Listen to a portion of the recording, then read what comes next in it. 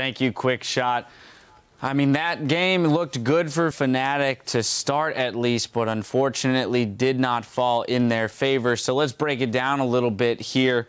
Uh, I, I wasn't a big fan of their uh, picks and bans here. I think that, that when they picked up Zed Cassio, they should have held off on the Zed pick, picked the Cassio, and perhaps taken away the Alistar uh, disallowed for some of SKT's um, disengage on that team, right? I don't think that they needed to pile on the Leona. Well, what they tried to do is they tried to enforce a lane swap because there's no way if Huni picks up Cassiopeia that you are not lane swapping against him and trying to punish him for that pickup. We've been criticizing teams for going into the 1v1, and that covers some of Steelback's weakness. So I actually like that part of it, but I agree with you. The Alistar was the bit that I thought it would have been a little bit better than Leona. And of course, also in the early game, uh, we saw Febiven making some sweet plays. We have a tweet from at Lady Lil Talon who writes, and Febiven will tell his children about the day he 1v1 Faker and walked away with the god dead at his feet. And here's a listen in of Febiven calling it in picks and bans. By the way, I, am gonna I'm gonna solo kill this guy, okay? Okay. If you ward for me, I can play aggressive. I can just jump on him 24/7 and then he's dead. Same the visits into the jungle not as fruitful. And there's the death mark coming in. And will it be enough? The pop and the ignites! Aggressive pick-making team. Faker eats two shurikens. The knockup is interrupted as Febiven materializes. Ignite Ooh. plus one more. That is two 1v1s in a game. I'm loving the confidence there, really knowing the limits of what he can do on the champion, regardless of who's playing and that's really a trait that a lot of rookies seem to have. Like, they don't care who they're playing against. They just see champion, champion. They know what they can do. Those EU mid laners I can just throw in there. Oh, that's boy. what the lane swap does. As soon as you get that lane swap in there, they had to swap it. You isolate mid lane, and he said, just ward out for me. That's exactly what I'm going to do. Well, that's the, you know, it was wonderfully er played in the early game. The problem is they were not able to convert this into a victory. So even with the solo kills in the mid lane and the early lead that they got, Fnatic not able to convert it, and that's where I have to wonder whether or not the team comp that they drafted allowed them to uh, to push around the map they, uh, the way they needed to. I feel like after killing the god twice, the heavyweights were off, and he started to actually perform really well. In the team fights that there was a particular team fight around the dragon area where Febiven was we see SKT on the monitor right now, but speaking to this replay that you're regarding, Sheepy, we're going to pull that up onto your screen, ladies and gentlemen, and I'll let you break that down for us. Yeah. I... Here it is. Um, that was actually really impressive by Faker. So Faker getting 1v1 twice, and I think this was the wrath from him. He's seeing, um, if we roll the clip, just how great Faker is actually negating any kind of pressure from Febiven, who's level 17, three levels up here.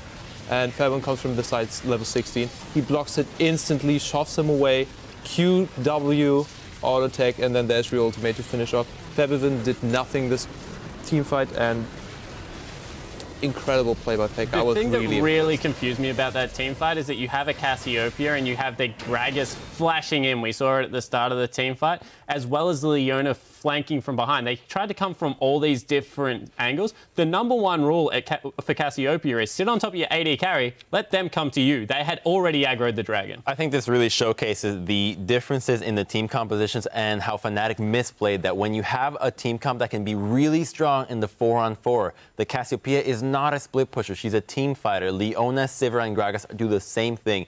You cannot look for these 5v5s if you don't have vision denial. You saw Zed walking through a mile of wars going into that. Faker, you know, he's a veteran. He knows the path that Zed has to take, instantly blocks it. And what Fnatic should have done is just leave Zed split pushing, keep him away from the team fights, and then get advantages that way. I 100% agree. And this is where I want to go back to the point that I was trying to make earlier, which is that when they picked up the Zed Cassio, I would have picked up Cassio Alistar. Pick it away, play the disengage because you have Cassie to re-engage in that 4v4 uh, as you mentioned, then play that split push out, the 4-1 split push for the entirety of the game, especially after having the early gold that you had on Zed. I feel it was really a strategic misplay here by Fnatic. Yeah, I definitely think that we can say that they strategically fell down. They got all this gold and they didn't really know what to do with it. If we bring it back to pick bans, that is something to point out.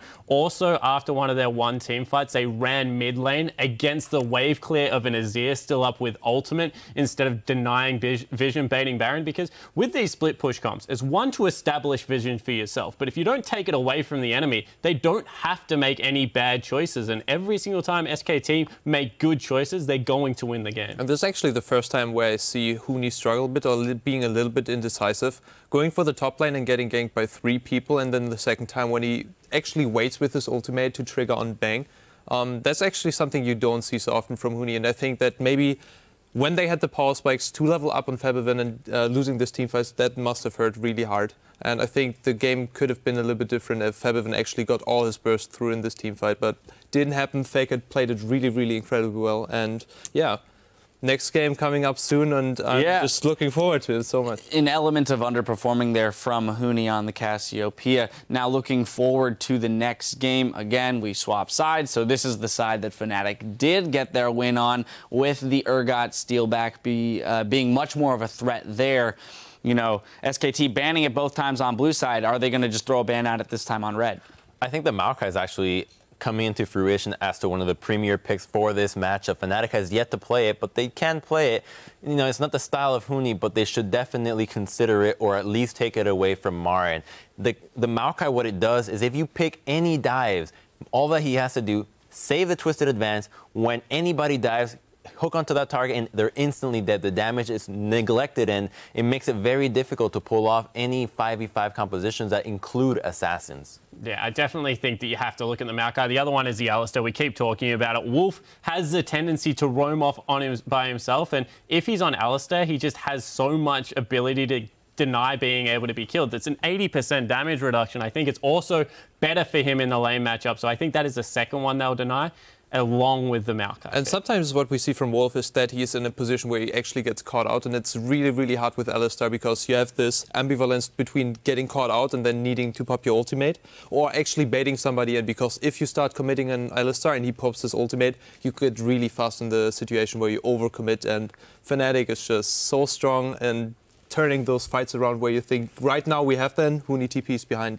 they get slaughtered. Say, let's return to the top lane or continue the top lane discussion here. SKT back on your screen, still, still working out what they're going to do here in this fourth game. But you know, again, Huni underwhelming on Cassiopeia slightly, but also being in that 2v1, not having the opportunity to make as many plays around the map because the teleport the teleports weren't there. And I think that that is a big element here for Fnatic coming to this next game is trying to put him in the position to affect other lanes where Febiven could not. Yeah, that's definitely a point. When you lane swap like that, you don't get the brawls that you're looking for. We keep talking about the 3v3, the 4v4. If you lane swap, it's going to be a controlled game, and that is really where SKT shines. So I expect them to go back to a 1v1. I think a cool thing about this draft was that in the previous games, SKT was banning the Cassiopeia. And they're thinking, okay, we struggled against it in the group stages. Let's keep banning it. And then they think, oh, well, we're going to have to make a sacrifice and commit to getting rid of one of our bans. Let's do Cassiopeia. Get rid of the ban that we've been doing all this time.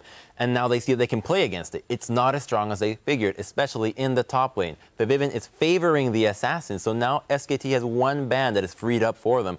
I'm curious to see what they're going to do with it, or if they even ban the LeBlanc, seeing as how they're purple side now. Yeah, I feel like in the pick and ban they could have also let the Cassiopeia with the Alistar just to have the flex pick because they play Cassiopeia in the top and in the mid lane and maybe opening up some strategic diversity at that point. All right, well, we'll see after the break. Don't touch that browser. SKT are one game away from securing their spot in the MSF, MSI finals. We'll see if they can get it done in game four versus Fnatic. We'll be right back.